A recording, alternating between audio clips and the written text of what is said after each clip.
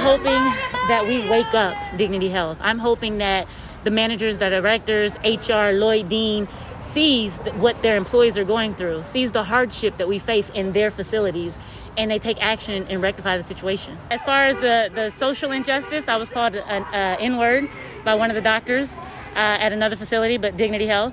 And then I come to this facility and I was told I wear a surgical hat, mask, and a badge holder. Uh, my manager came up to me and told me to take all three off. Uh, after a meeting, she told me that insignias were not allowed.